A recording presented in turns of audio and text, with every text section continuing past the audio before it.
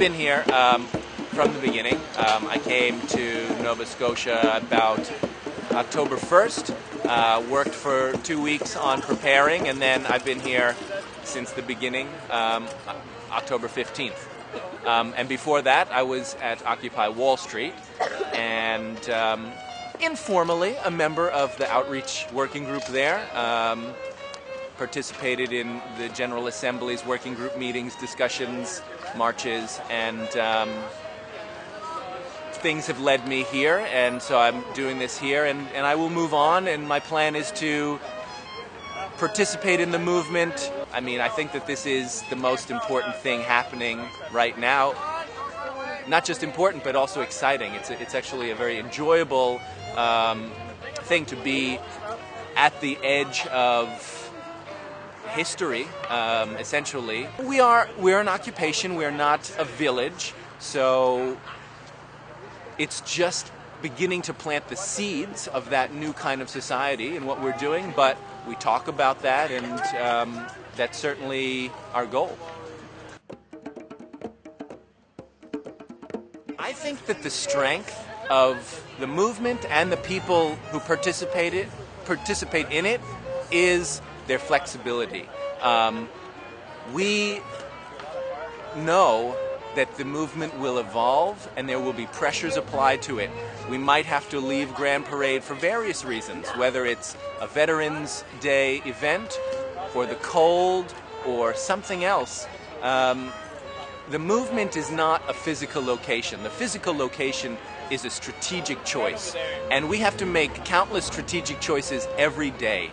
Um, I think it was a very wise decision and, and showed our skills at negotiation, in conflict resolution, and, and in listening to essentially say, we hear that this is important to you, and we are not going to make, uh, you know, we're not going to be stubborn for a rhetorical message.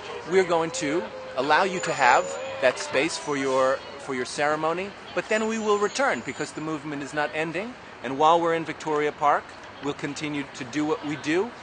And who knows? Maybe we'll be in the legislature building. Maybe we'll be in Dalhousie University. Maybe we'll be in some uh, workplaces. I think that people who imagine this movement to be dwindling don't understand um, the momentum behind it and basically the, the, the, reality, the factors that are in play in society. So um, I don't think that it's going away anytime soon, and, and certainly I don't see us moving to Victoria Park for a few days as a loss.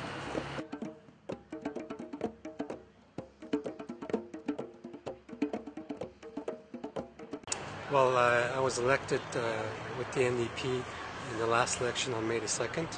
Uh, I represent I represent the riding of uh, Abitibi Baie-James Nunavik Eeyou, uh, one of the largest ridings in, the country. Um, and I'm here on a visit uh, uh, touring the country, as a matter of fact, uh, because I'm involved in the leadership race to replace Jack Layton. Well, I think there, there's a, an urgent message behind this movement across uh, across the land that started in New York on Wall Street.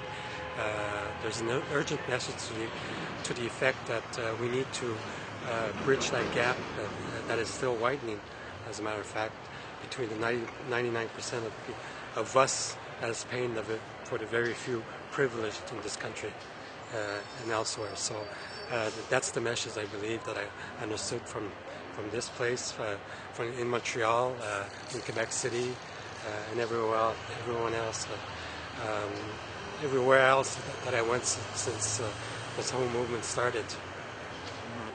You know, I've learned from experience that and that it takes a lot of patience to achieve what you want uh, as an Aboriginal person, I surely know that. Uh, but uh, you know, even though if they're pushed out of this, uh, this area or wherever they are uh, in this country, it's going to come back in another form because this fight is not finished. Excellent. You know, we came here and in one day we set up and essentially, um, you know, people put their tents where they wanted to. We didn't have any plan, but um, I, if there was a plan, I didn't hear about it. Right. Um, this is the medical tent, so this is a place where people can go if they are feeling sick or if they have minor um, medical issues, and we have some uh, first aid supplies as well as some um, people who have experience with um, a- as nurses or as paramedics who, who man this tent and, and have um, information, you know, um, for people if they need to go to the hospital or if they just want to go in there to rest. Um, this is the admin tent. This is some. Uh, we've had previously the people who organize logistics and finances um, in there. We have recently gotten a mod tent because um, it is getting colder, and um, having a tent where we can have, um, you know, protection from the elements and larger meetings, especially if it starts to snow, has been important. Um, but in the move, it, it's it was filled with a lot of stuff, but they've cleared it out for the art um, festival today. Um, mostly, I think I see just a lot of residential tents. Some of the tents that we had set up in Grand Parade for certain purposes, like meetings, um, supplies, media, um, were not reset up here. They're, they're just kind of sitting in storage because um, I think there's a sense that, well, we're just kind of waiting this out for a few days. Um, you know, it's um, it's a bigger park. Some people have expressed, um, you know, the, the desire to stay here long term, but we don't have electricity here, and um, I think that other people feel that they are more visible in Parade Square. Um, that as a political movement making a political statement, um, it makes more sense to be in Parade Square, and I tend to agree with that. In person for direct action, we plan events like rallies and marches, and I'm involved in logistics too, handling finances and information gathering. Definitely use help if you're interested, and uh, direct action's a lot of fun. We're hoping to we're gonna start and do a lot more outreach and political stuff, getting awareness, different issues that people have uh, out there in the public eye, and raising consciousness for the public. a whole lot of community. It's an opportunity for people to learn how to work together, how to respect each other's points of view, and and I find the most progress that I have made in the past week is within myself to communicate with others and to respect them for who they are. This is a great place. You get all sorts of people, all sorts of ideas on how to do things, and we all have to work together because we're all here together. So, you know, beside the politics of it all, it's uh, a lot of learning. And Loaded Ladle donated a couple bales of hay, so picked up on that. I don't know if Oh, just yeah? want to like poke the camera in there and I'm so curious too.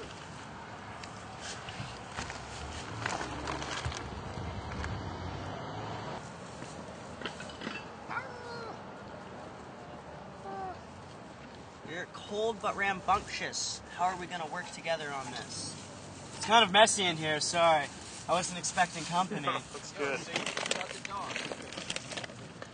What did I come in here to get? Sweater. So this is the spot. Feel free to stop by, folks. You're warm at night? Oh, heck yes. Excellent. Especially with the little girl. You picked a good time to come. Yeah. I I said, can come on see in. that. Come on in. Excuse me, people. Oh, sorry. All right. Excuse me. I'll stay wherever we're going. Come in this side. Yeah. Great. This is um, just an all veg. It's all vegetable Right. um, soup with uh, chicken flavor. This is a chili. And that is a big beef stew.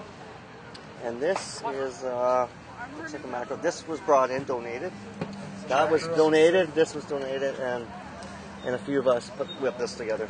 Do you know who donated it or where it came from? No. Yeah.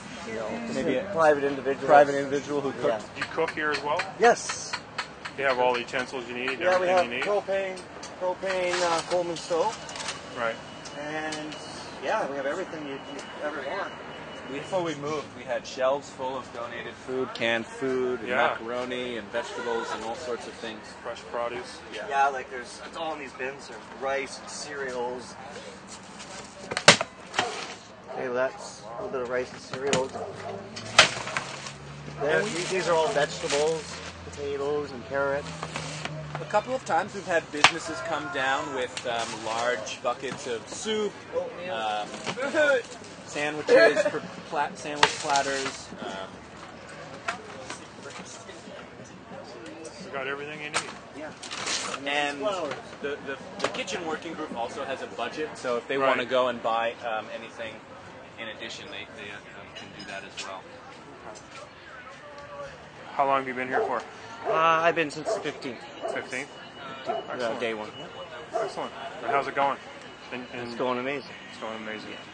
It's a learning experience. Excellent.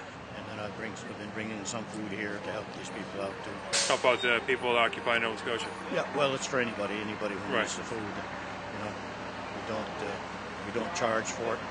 Why do you do that?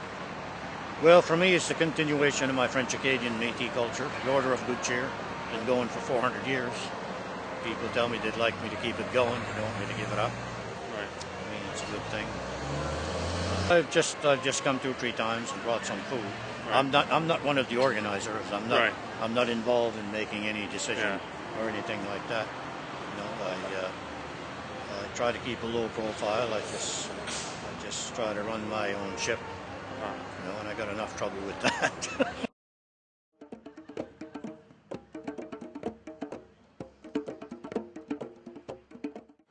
Has there been any issues that you've heard of down here?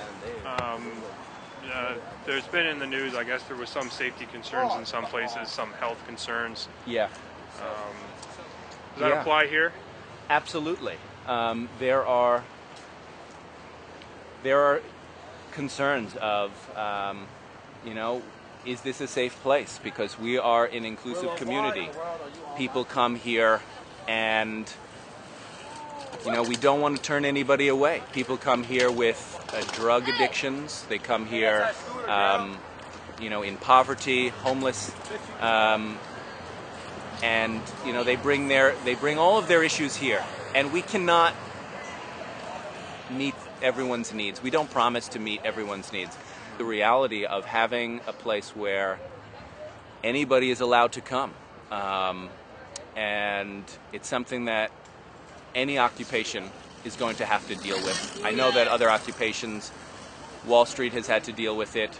Um, they've had to deal with this in spain and I think what we also have to think about equally is the extent to which they, uh, the authorities will use that as an excuse to shut an occupation down. So, um, recently, where a woman had um, died in her tent, um, I heard that they were using that as an excuse to shut the camp down.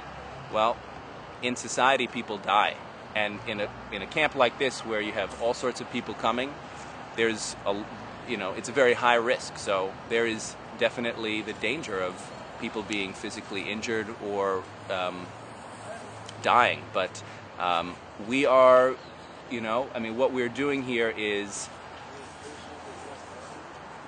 we're creating a new society in the old society and so nobody expects it to be easy um, but when people come here they are definitely confronted with uh, a reality that sometimes they didn't expect.